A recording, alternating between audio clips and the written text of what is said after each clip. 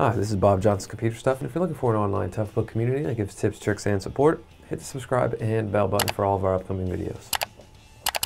Today, I'll be showing you how to replace the memory or the RAM in your Panasonic Toughbook CF19. I'll be showing you how to remove both sticks. First thing you want to do is flip the unit to the back. Uh, this one already has the battery and hard drive removed. Now you just want to remove all the screws on this bottom plate. You don't need to take or unscrew these little covers off or anything on the port covers.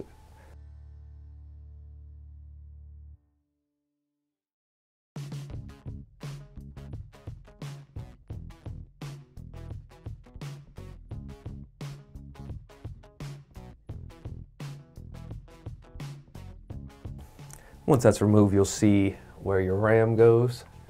Uh, first thing you want to do here is unclip this ribbon cable. I'll make sure to be careful.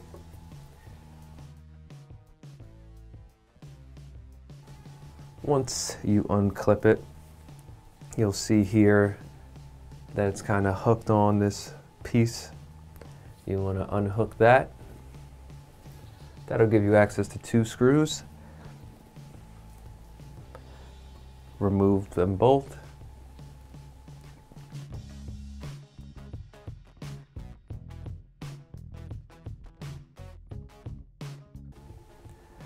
That'll allow you to move this plastic cover here and give you access to both of the RAM sticks.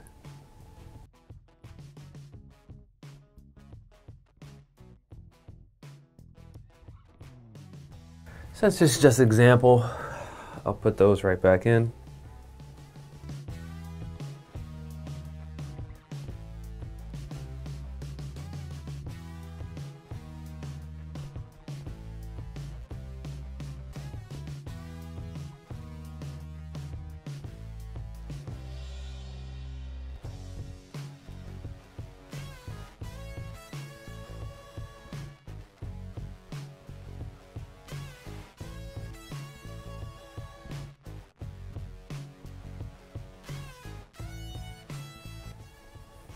And you just want to make sure to screw that plastic piece back in.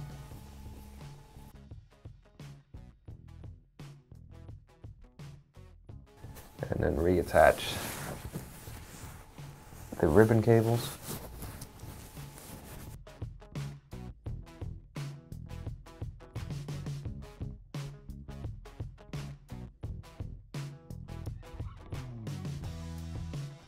And that's it.